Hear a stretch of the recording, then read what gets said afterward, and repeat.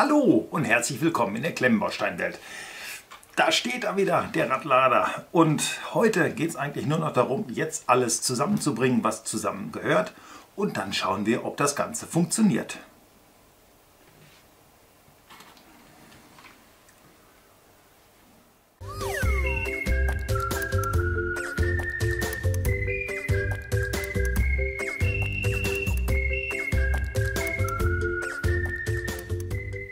Ich hatte es euch ja beim letzten Mal gezeigt und habe es euch auch gesagt, dass ich die Pumpen austauschen muss, weil mit dem Pumpen funktioniert es überhaupt nicht. Also Bricklink Apotheke befragt, zwei Pumpen zu einem exorbitanten Preis bestellt und die alten Pumpen, ich habe sie schon ausgetauscht, deswegen sieht das hier jetzt alles so ein bisschen sehr, sehr zerrufft und zerpflückt aus. Das hier sind die alten Pumpen und dass die nicht funktionieren, also das wundert mich nicht. Hier ist ja im Grunde genommen überhaupt nichts was irgendwie pumpen könnte. Ähm, das ist bei der hier genau das gleiche. Ich weiß gar nicht, ob man da mal so eine aufmachen kann. Ich habe es mir bis jetzt noch geschenkt, aber das dürfte ja keine große, nee, ist keine große Sache, kriegt man recht gut hin. Na gut, das erklärt dann so ziemlich alles. Gucken, ob ich das jetzt hier rausbekomme. Da ist der Gummieinsatz und ah, ich komme mal, ich komme mal ganz nah ran. Ich hoffe, er fokussiert. Nee, er fokussiert natürlich. Er findet mich schöner als dieses Gummi. Aber ihr seht das, das ist ein Witz, was hier drauf ist. Also da ist China noch ganz, ganz weit von entfernt zu sagen, wir können hier was Vernünftiges produzieren. Das mag bei Firmen wie Mold King und Kader ganz gut funktionieren. Aber das, was wir da so im ja, was wir da so im Steine-Zubehör bekommen, also das spottet hier jeder Beschreibung. Das ist ganz, ganz arm. Das ist der letzte Schrott, aber wirklich der allerletzte Schrott. Es hat ja auch nicht funktioniert, von daher. Nee, also das hat mit Pumpe nichts zu tun. Das ist Müll. Hier drin sind zwei Lego-Pumpen getestet, habe ich das Ganze im Prinzip schon im Vorfeld. Einfach nur, damit es sich hier heute nicht unnütz in die Länge zieht. Wie das Ganze dann vonstatten geht, das will ich euch dann natürlich gleich zeigen. Auch die Räder sind noch nicht ganz fertig. Ähm, auch da bin ich schon ein bisschen in Vorarbeit gegangen und habe hier so ein paar Teile liegen. Auch hier schüsselweise schon alles im Prinzip soweit vorbereitet, dass ich jetzt also wirklich nur noch minimalste Arbeiten zu erledigen habe. Diese werde ich jetzt rasch vonstatten bringen, dass dieser Radlader fertig wird und naja, dann denke ich mal, kann es dann auch schon in eine Funktionsprüfung gehen. Und deswegen jetzt gar nicht großartig rumgeredet. Ich wechsle mal die Kameras, baue das hier alles zusammen und dann lassen wir uns überraschen.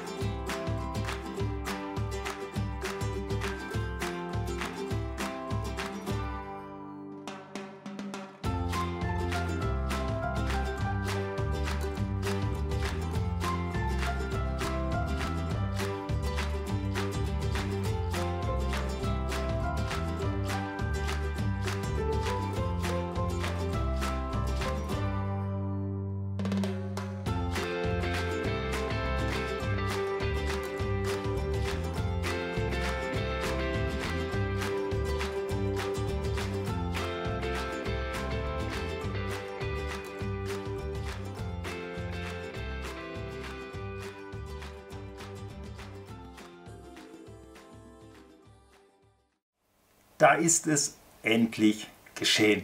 Vor mir stehen über 12.000 Teile zusammengepackt zu einem Radlader. Und ihr seht das, ihr könnt mich kaum noch sehen. Das ist also wirklich ein Mordsgerät. Es gab nochmal einen heftigen, heftigen Rückschlag ganz zum Schluss. Ich wollte im Vorfeld schon mal alle Buvis programmieren, damit sie hier mit diesem PlayStation Controller dann auch funktionieren.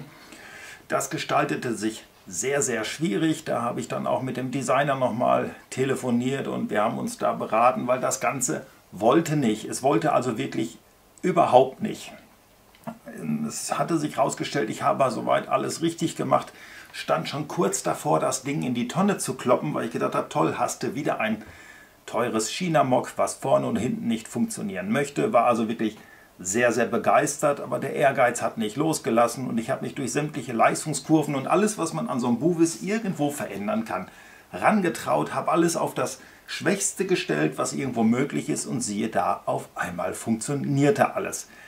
Hat sich mir aber nicht ganz so ergründet, warum es nur auf der schwächsten Stufe funktioniert. Hat mir gedacht, es muss ja Minimum auf der normalen Stufe funktionieren.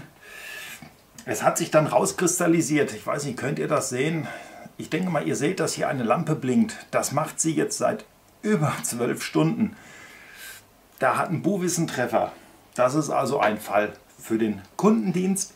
Somit hieß es für mich aber leider Gottes auch nochmal wirklich sehr, sehr viel hier zurückbauen. Buvis raus und S-Brick rein. Also zumindest einen S-Brick und dann Buvis wieder durchtauschen, damit die Programmierung halbwegs funktionierte. Und so konnte ich dann endlich anfangen, Tests zu machen. Gehe ich aber gleich nochmal kurz drauf ein. Ähm, ich denke mal, wir schauen jetzt erstmal so lange, wie er jetzt hier wirklich in der größtmöglichsten Position steht. Was haben wir hier für ein Geschoss stehen. Ich weiß gar nicht, wie ich den jetzt am besten ausmessen soll. Ich, ich mache jetzt einfach mal vom Heck bis zum Vorderrad habe ich hier 70 cm und die Schaufel ganz bis nach oben bin ich bei 63 cm in der Gesamtgröße. Das ist stattlich. Sehr, sehr stattlich. Ich will nicht verschweigen, dass das hier alles nicht Gold ist, was hier gerade glänzt. Es gibt Probleme, Probleme, die ich aber nicht ausfindig machen kann, woran es liegt. Ihr seht jetzt, die Schaufel, die ist hier oben zusammen mit dem Arm und alle Zylinder sind ausgefahren und es fällt auch nicht runter, was bedeutet, das System als solches ist erstmal dicht, weil ansonsten müsste das ja jetzt hier stumpf nach unten klatschen, aber wie ihr seht, tut es das nicht. Das Problem ist aber, auch da habe ich mit dem Johann nochmal drüber gesprochen, ich kriege ihn nicht ganz hoch gepumpt. Es ging dann immer nur bis zur Hälfte, dann hänge ich oder dann helfe ich mit der Hand nach und dann wurde auch der letzte Rest geschafft. Sehr, sehr vieles habe ich überprüft. Jetzt kommt schwerwiegend hinzu zwei gebrauchte Pumpen Lego. Ähm, acht gebrauchte Pneumatikzylinder und ich habe sie dann alle nochmal versucht mit so ein bisschen Stahlwolle sauber zu machen. Ich habe sie ein wenig mit Teflon, Entschuldigung, ein wenig mit Teflon eingeschmiert. All das hat nicht gereicht, das Ganze hochzudrücken, obwohl die China-Zylinder so weit dicht sind. Ihr seht, das Ganze steht hier oben. Wäre hier irgendwas undicht, das würde runterklatschen. Das hat hier alles ein ordentliches Gewicht. Ich würde euch ganz gerne die Funktion der Pneumatikteile, das hat ja mit dem Fahrbetrieb nichts zu tun, erstmal hier an Ort und Stelle zeigen. Weiß ich natürlich, das Ganze ist ein bisschen laut. Daher denke ich mal, werde ich einfach nur die Bilder sprechen lassen. So habe ich dann die Chance, den Ton ein wenig runterzunehmen. Aber ihr seht zumindest, dass ich dann hier nicht wirklich viel machen muss. Die Funktion, das äh, fun äh, funktioniert dann alles über den Controller.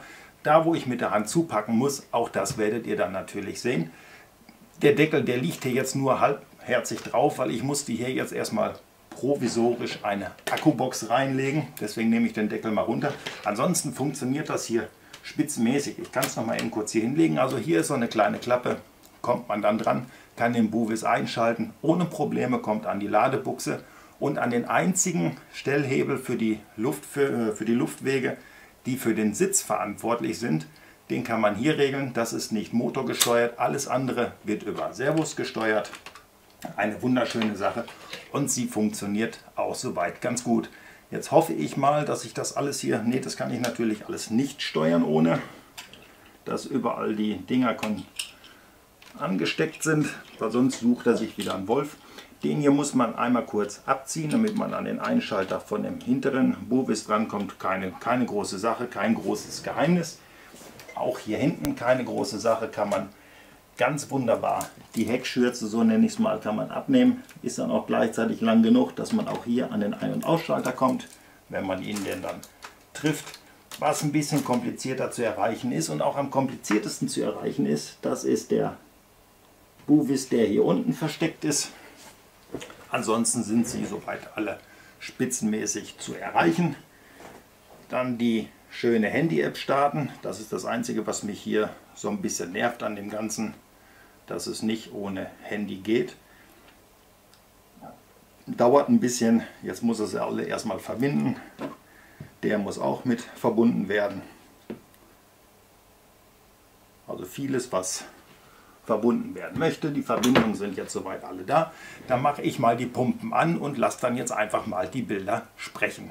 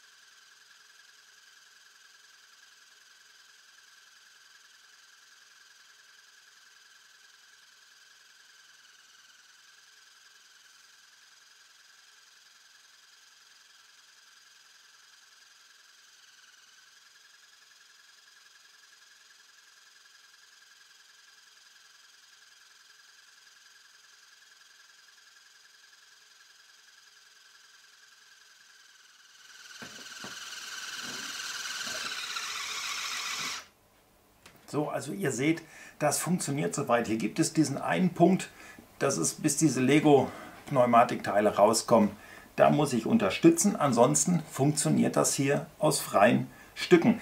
Ich gehe einfach mal davon aus, die Pumpen werden nicht mehr die besten sein nach all den Jahren. Je nachdem, wenn sie aus den ersten Zeiten sind, die sind im, äh, im Arox drin gewesen. Das heißt, äh, ich glaube 2,6, wenn mir nicht alles täuscht. Also die haben schon ein paar Jährchen auf dem Buckel. Wer weiß, wie viel sie bespielt wurden und die Zylinder sind auch nicht mehr die besten. Aber ihr seht, das ganze Druckluftsystem als solches hält. Es ist dicht.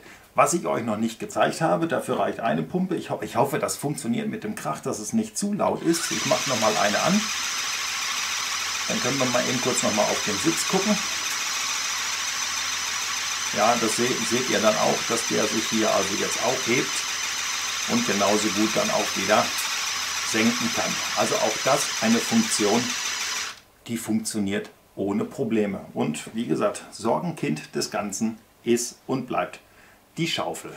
Wenn ich jetzt das Ventil mal offen mache, also ihr seht, er senkt ab. Das System ist dicht, überhaupt keine Frage. Ärgerlich, dass es nicht funktioniert. Was haben wir denn da noch für Funktionen? Natürlich haben wir das Lenken. Tut sich jetzt hier im Stand zu schwer. Wenn ich ihn aufbocken würde, würdet ihr sehen, dass es funktioniert und das Fahren hier auf meiner Filzunterlage auch nicht unbedingt die beste. Dafür muss ich dann definitiv mal rausgehen, um das Ganze euch zeigen zu können. Oder ich bock den mal eben kurz auf. Kann ich natürlich, nee, kann ich nicht, weil ich jetzt gerade nichts habe. Aber das wird dann hoffentlich auch funktionieren. Das ist das Einzige, was ich noch nicht getestet habe. Ich habe es immer nur in einem aufgebockten Zustand getestet. Also wenn ich hier jetzt mal anhebe, ihr seht, das funktioniert. Und ich hoffe dann, hier hinten macht er das gleiche nochmal. Ne, hinten alleine will er nicht. Warum will er hinten nicht? Ein Buvis hat sich wieder getrennt. Also mit diesem Buvis, Freunde, da bin ich nicht unbedingt auf dem, auf dem Ast. Also das, ne, die überzeugen mir noch nicht so ganz. Da bin ich mit den S-Bricks, die haben mir definitiv besser gefallen und sie kosten das gleiche. Also das Fahren eine Sache, das teste ich dann lieber nochmal. Draußen oder oben irgendwo auf dem glatten Untergrund, lassen wir uns mal überraschen, wird sich ein Weg finden. Deckel wieder drauf, sieht es einfach schöner aus. Was euch ja immer so interessiert, das sind die Kosten des Ganzen. Jetzt muss ich so manch einer wirklich, ich, ich nehme den mal zur Seite, also das ist, er, er ist wirklich schön anzusehen, aber das, ich fühle mich da so ein bisschen unpersönlich so. Da könnte man einen Blick in die Schaufel werfen und den auch erstmal zur Seite. Die Kosten, ich musste mir das hier unten mal aufschreiben, weil ich mir das alles gar nicht so merken konnte. Also das ist so eine Sache, da muss man sich wirklich festhalten. Der Radlader als Bausatz über AliExpress liegt bei 651,85 Euro. Das war so der Kurs, bei ich, dem ich ihn bestellt habe. Aktuell ist er ein klein wenig günstiger, schwankender Dollarkurs. Aber hat sich noch nicht wirklich viel getan. Kommen natürlich Einfuhrsteuern mit dabei, Zollgebühren, das waren nochmal 148,63 Euro on top. Vier Buvis sind in dem Set versteckt macht nochmal 429. Fehlteile habe ich euch erzählt, hat es auch gegeben und die Zylinder, die es ja nicht gegeben hat zu dem Set, waren nochmal 130,48 Euro. Das sind ungefähr 1370 Euro. Stattliche Menge, muss man so sagen. Also das ist auch für China-Teile nicht wenig, wenig Geld. Der Johann hat mich gebeten, euch darauf hinzuweisen und das mache ich natürlich sehr, sehr gerne. Wenn ihr mal in meine Videobeschreibung guckt, die hier unten drunter steht, da findet ihr natürlich auch sämtliche Links zu dem Designer, zu einem Funktionsvideo von dem Designer und auch zu einem Link, der geht zu Buildemog. Und bei Buildemog habt ihr die Möglichkeit, dieses Gefährt, so wie es hier steht, aus Lego zu bestellen. Ich habe anfangs mal reingeguckt, das waren glaube ich irgendwas um die 2400 Euro. Dann gehört dieses ganze Set, ich hoffe, sorgenfrei. Gehört es dann euch. Arbeitszeit kann ich nicht sagen. Ich könnte jetzt meine ganzen Videosequenzen zusammenrechnen, funktioniert aber nicht. Einiges habe ich gebaut, da hat die Kamera nicht gelaufen. Es sind ein oder andere Umbaumaßnahmen gemacht worden oder Umbaumaßnahmen nicht. Es sind nochmal Veränderungen gewesen. Ich war da so eine Art Beta-Tester für die Anleitung, könnte man so sagen. Da hatte sich der ein oder andere Fehler mit eingeschlichen. Das wurde dann nochmal alles angesprochen und nochmal dokumentiert und das kostet natürlich auch alles Zeit. Deswegen gefühlt, gefühlt dürften es um die 50 Stunden gewesen sein. Und wenn ich meine Erfahrungen der anderen Größen, großen Sets so mit dabei nehme, wird das auch eine Zeit sein, die man da locker einrechnen muss. Für dieses, also ich kann mich eigentlich nicht dran, dran satt sehen. Das ist so ein schönes Set. Das ist schon, das ist eine feine Sache. Fehlteile habe ich euch angesprochen. Sehr, sehr viele Gummikonnektoren. Habe ich auch gleich angerufen, wollte man mir schicken, hätte mir jetzt aber wirklich alles zu lange gedauert wären anstandslos gekommen. Das wäre hoffentlich dann auch halbwegs schnell gegangen. Ansonsten keine Fehlteile. Es ist nach wie vor eine mehr als faszinierende Geschichte, keine Fehlteile zu haben, wie auch immer so was passiert oder wirklich minimal an Fehlteilen. Nur bei 12.000 Teile hätte ich gedacht, stoße ich hier mindestens auf 1000 Fehlteile. Hat sich nicht bewahrheitet, also hier ist wirklich sehr, sehr sorgfältig gepackt worden. Ich habe in meiner Rechnung was vergessen. Das fällt mir jetzt aber gerade erst ein. Ihr müsst nochmal 40 Euro draufrechnen, weil ich habe ja die blauen Dreierpins alle rausgeschmissen und habe sie durch schwarze Dreierpins ersetzt. Die haben auch nochmal ungefähr 40 Euro gekostet. Das habe ich, hab ich euch ganz verschwiegen. Gut, dass ich nochmal eine kleine in mich Kehr gehalten habe. Kann ich euch jetzt noch irgendwas erzählen? Nee, erzählen kann ich euch nichts mehr. Es bleiben jetzt nur noch die Aufnahmen schuldig wie es fährt, ob es fährt. Man könnte jetzt Wetten abschließen. Ich bin hin und her gerissen. Hier stehen über 10 Kilo, allerdings auf 8 Motoren. Da sollte man meinen, dass das Ganze funktionieren wird. Ich werde es jetzt rausfinden, zusammen mit euch natürlich. Gehen wir jetzt mal nach draußen und machen mal den großen Fahrtest. Und ich denke mal, danach sehen wir uns dann hier nochmal rüber und dann reden wir über das, was wir dann gesehen haben.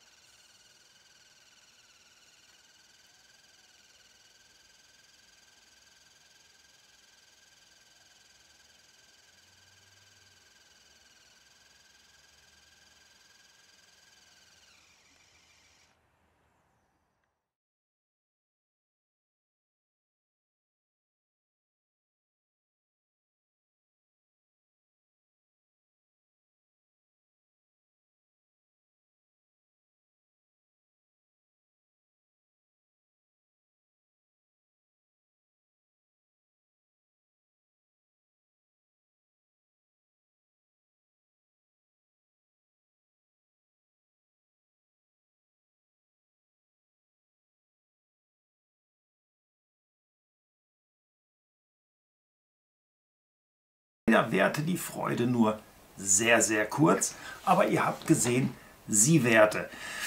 Warum nur kurz? Ähm, es ging eigentlich relativ schnell. Da hat im Vorderrad ein Zahnrad schlapp gemacht. Das hat dann übersprungen und aus die Maus. Das ist es dann gewesen. Wo ich mich noch ein bisschen schwer mit tue, hat aber mit dem Modell nichts zu tun. Das sind die Bovis als solches dass man da also die Leistungskurve, das kann natürlich an den China-Motoren liegen, aber man kann die Leistungskurse, äh, Leistungskurse, ja, Leistungskurse gibt es auch in Deutschland, habe ich mir sagen lassen. Die Leistungskurve kann man nicht auf 100% stellen für alle Motoren. Kann aber auch mit der Streuung zu tun haben, weil alle Motoren arbeiten unterschiedlich schnell. Also hier ist, denke ich mal, sehr, sehr, Finger, sehr, sehr viel Fingerspitzengefühl dann auch gefragt, dass man die für jeden Motor exakt trifft, dass alle vier Motoren im Gleichtakt laufen. Nächstes Problem ist, der hintere Akku hat schlapp gemacht. Äh, sehr, sehr ärgerlich. Ich war der Meinung, es würde noch reichen. Aber ihr habt gesehen, das Ding fährt. Ich bin überrascht, ich bin begeistert. Mit vollen Akkus wäre er sicherlich noch weitergefahren und hätte ich noch einen Kam Kameramann zur Verfügung gehabt, dann hätte nicht alles noch irgendwo halten und koordinieren müssen. Man hat den Joystick in der Hand, man hat das Handy irgendwo noch mit dabei und man hat die Kamera in der Hand gestaltete sich leider auch ein wenig schwer, aber der Beweis, und das ist das, was mir wirklich eine Genugtuung ist, die vielen, vielen Stunden des Bauens, sie haben sich gelohnt. Dieses Set ist in der Lage, mit den kleinsten Optimierungen, vielleicht noch etwas sorgfältigeres Bauen, wo mir teilweise dann auch die Zeit für fehlt, weil ihr könnt euch das sicherlich vorstellen, so ein Set kommt hier rein, das liegt hier gute zwei Monate, bis das dann mal komplett fertig gebaut ist, weil ich ja auch nebenbei wirklich noch arbeiten gehe da guckt man vielleicht nicht ganz so genau an den Stellen hin, wo man hätte hingucken müssen. Wäre mir das mit dem Zahnrad eventuell vielleicht im Vorfeld sogar schon aufgefallen und ich hätte es abändern können. Trotz alledem, es sind alle Funktionen da. Er fährt, er lenkt, es geht hoch, es geht runter, die Schaufel kippt und die Schaufel, ihr seht das, ich habe hier mal zwei Tassen reingestellt, die Schaufel ist riesig. Das kann euch nochmal so ein bisschen Größe des Radladers vermitteln. Es ist, seitdem ich hier euch Sets vorstelle, Mox vorstelle, wirklich das Schönste, was mir unter die Finger gekommen ist. Vielen lieben Dank nochmal, Johann, dass du mich darauf aufmerksam gemacht hast, dass es dieses Set gibt und wo man dieses Set bekommen kann. Auch, dass man dieses Set komplett in Lego kaufen kann, finde ich eine sehr, sehr schöne Sache. Da kommt dann auch die Unterstützung an den Designer, finde ich wirklich grandios. Und an der Stelle möchte ich natürlich diesen Aufruf dann auch wirklich nochmal wiederholen. Wenn ihr euch die Steine kommen lässt, weil ihr sagen oder weil ihr sagt, das ist was, das will ich im Regal stehen haben und der Radlader war noch nicht fertig, da wurde ich mit Nachrichten überhäuft, die mir gesagt haben, es ist uns im Prinzip sogar egal, ob er funktioniert oder nicht. Wir wollen ihn einfach nur haben oder ich will ihn einfach nur haben, damit ich mir ihn ins Regal stellen kann. Holt ihn euch.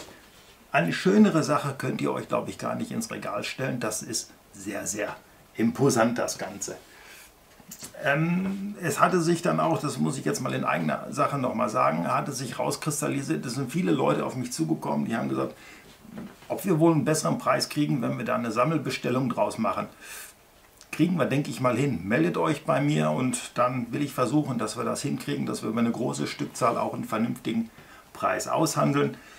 Ob mit oder ohne das äh, Motoren, das kann man dann ja alles besprechen. Also ihr habt unten in den Beschreibung jede Menge Möglichkeiten, mich zu kontaktieren. Was ihr bei mir aber nicht kriegt, und ich glaube, das weiß wirklich jeder, das ist eine Bauanleitung. Die Bauanleitung, die holt ihr euch bitte beim Johann, den unterstützt ihr damit, der hat da viel Zeit, viel Liebe reinfließen lassen.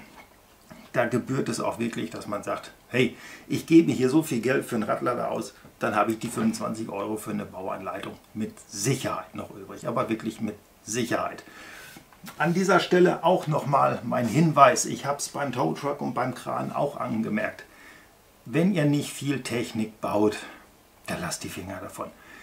Also hier muss man wirklich schon das ein oder andere wirklich mal gebaut haben, um so ein bisschen auch das Gefühl und alles Mögliche für Technik zu bekommen. Das ist kein Modular Building, was man mal eben schnell hochzimmert und sich dann daran erfreut, dass man ein schönes Haus in die Stadt stellen kann mit einer hübschen Inneneinrichtung. Hier ist Technik, hier geht es um Funktion. Es kommen so viele Anfragen für den Kran, die Leute, die Hilfe brauchen, wo ich denke, äh, da braucht man eigentlich keine Hilfe, das ist alles selbsterklärend.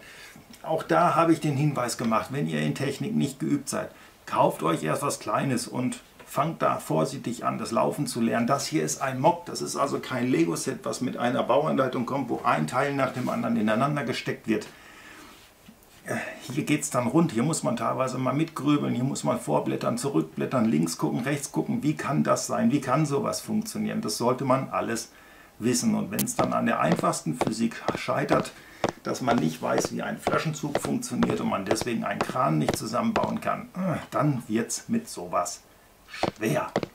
So, ich denke mal, es ist jetzt wirklich alles über diesen Radlader gesagt, was man sagen kann. Unterm Strich kann man eigentlich nur sagen, ein geiles Teil. Bums. Mehr kann man dazu nicht sagen. Wie gefällt er euch? Schreibt es mir mal in die Kommentare. Überrascht es euch wie mich, dass er gefahren ist, auch wenn es nicht weit gewesen ist. Und ich denke mal, das Zahnrad, das knöpfe ich mir nochmal vor. Also, dass es daran jetzt wirklich zum Schluss gescheitert hat und an Strom. Da könnte mir jetzt virtuell links und rechts eine Ohrfeige geben. Da hätte ich im Vorfeld dran denken können, aber bei der ganzen Testerei hier und Einstellerei ist mir das wirklich durchgegangen. Mir sei verziehen. Es waren auch viele Stunden Fehlersuchen. Naja, dass es dann auf so einen Fehler hinausgeht, mehr Culpa. Ansonsten kann ich nur sagen, vielen lieben Dank, dass ihr mir zugeschaut habt, dass ihr euch das alles angehört habt, was ich hier zu erzählen hatte, dass ihr euch alles angeschaut habt, was ich zu zeigen hatte. Hat es euch gefallen? Gerne den Daumen hoch. Hat es euch nicht gefallen? Natürlich gibt es auch einen Daumen runter. Wenn ihr kein Abo habt, freue ich mich da immer drüber, das wisst ihr ganz genau. Und wo ich mich aber am meisten drüber freue, das ist, wenn wir uns bei meinem nächsten Video gesund wiedersehen. Vielen Dank fürs Zuschauen.